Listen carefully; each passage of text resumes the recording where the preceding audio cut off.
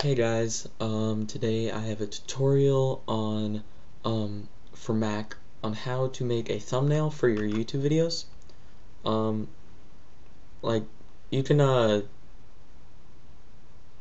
really attract more people to want to view your video once you have, like, a cool little thumbnail. So, um, one thing that you're going to have to get is Keynote. Um, some of you may already have it, and this is also for PC, you can do this on PC. Um, but it is $19.99 on the App Store. So you want to go ahead and open that up. And okay, so I am going to make a thumbnail for this video actually. I'm going to choose black and uh, 1080p or 1920 by 1080. I guess it wouldn't be 1080p. Um, go ahead and add these. So, um, go ahead and add a text box. You need to do all your stuff, you know. Okay, so um, I'm all done making this, as you can see.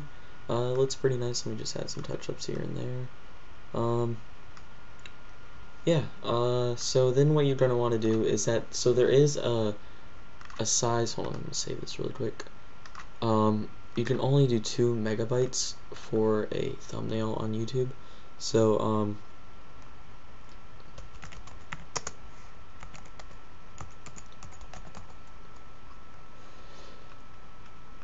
so you don't want to go, well, first you want to go to export, but you don't want to click on TIFF, um, whatever that is, T-I-F-F, or PNG, you want to click on JPEG for variable quality and turn that all the way up.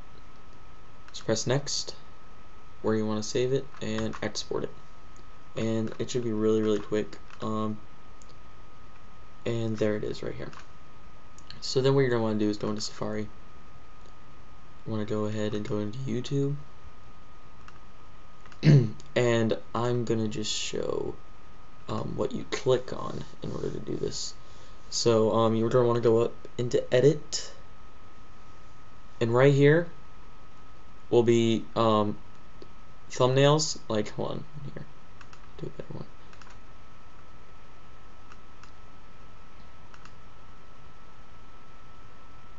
oops Whoa clicked on the wrong thing.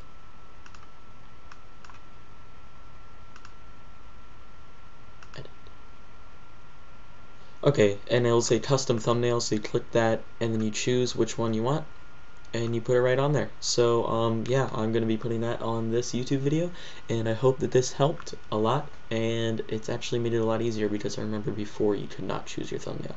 So, um, yeah, have fun with this. Hopefully get more views. Yes.